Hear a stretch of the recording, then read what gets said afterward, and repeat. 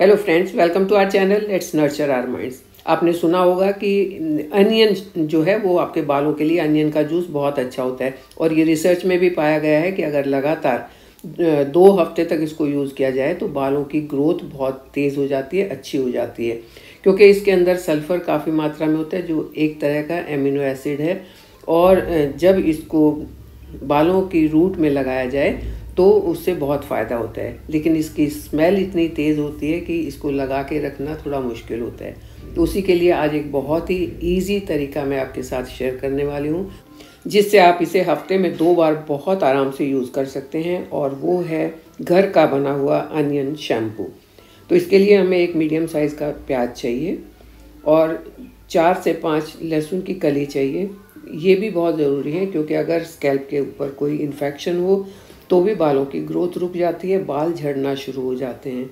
तो बालों की दो चीज़ करनी है, एक तो बालों का झड़ना बंद करना है, दूसरा है बालों की ग्रोथ को तेज़ करना है। तो ये दोनों चीज़ें जो हैं, उसके लिए बहुत अच्छी होती हैं। हमें इसका एक पेस्ट बनाना है। ग्राइंडर में डाल के इसको पीस लेंगे और उसके बाद हमें इसका जूस चाहिए। ये जूस डायरेक्ट लगाने से, जैसा कि पहले मैंने बताया स्मेल आती है तो इसलिए हम इसको रीयूज़ कैसे करेंगे? इसका शैम्पू बना के। इससे फ़ायदा ये होगा कि ये हेयर फॉलिकल में ब्लड सर्कुलेशन को इम्प्रूव करता है, और जब ब्लड सर्कुलेशन इम्प्रूव होगा तो बालों की ग्रोथ अपने आप अच्छी होगी।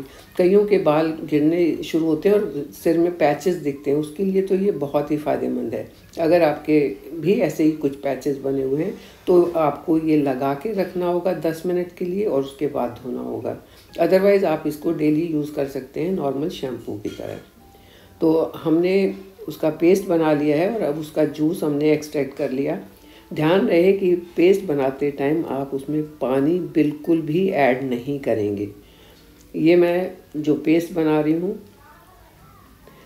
इसका मैं तीन टेबल स्पून जूस मैं लूँगी और चार यूज़ के लिए ये शैम्पू बनेगा। तो इसलिए आपने इसमें शैम्पू बेबी शैम्पू मिलाएँ। कोई भी हाई जिसमें केमिकल ज़्यादा होते हैं, वो शैम्पू नहीं मिलाएँ। बेबी शैम्पू में सबसे कम केमिकल होते हैं सबसे सेफ़ होता है।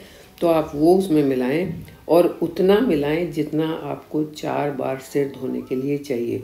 यानी कि अगर छोटे हैं तो चार चम्मच में हो जाएगा, बड़े हैं तो आठ चम्मच भी लग सकता है। आपको उतना ही शैम्पू मिलाना है तो आप ये चार बार का अपना शैम्पू बना के रख लेंगे।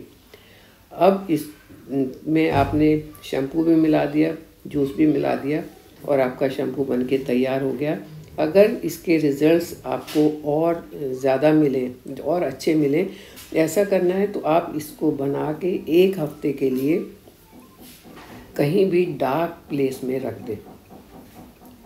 इसको धूप में नहीं रखना, कहीं खुली जगह में नहीं रखना डार्क प्लेस में रख दें।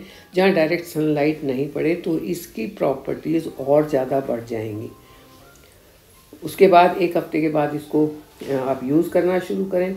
और जैसा कि मैंने बताया ये चार बार के लिए बन गया है तो आप अगर हफ़्ते में दो बार सिर धोते हैं तो कितना हो गया? ये आपका पंद्रह दिन के लिए बन गया है। आप एक पंद्रह पंद्रह दिन के बैचेज़ में इसको बना के रख सकते हैं। ज़्यादा नहीं बनाएँ, क्योंकि अनियन जूस जो है वो स्मेल करेगा। अगर आपने ज़्यादा भी बनाना है तो फिर आपको इसे फ्रिज में रखना पड़ेगा। बस आपका शैम्पू बन के तैयार हो गया। कुछ लोगों को लगता है कि झाग नहीं आते तो आप बेबी शैम्पू जब मिलाएँगे, इसमें झाग भी काफ़ी आएँगे। इसकी मेडिसिनल प्रॉपर्टीज़ भी काफ़ी हैं, जो बालों की ग्रोथ और रीग्रोथ दोनों के लिए बहुत फ़ायदेमंद है। बालों में होने वाली मैक्सिमम समस्याएँ जो हैं, झड़ना, गिरना, टूटना, वो सब इससे ख़त्म हो जाएँगी।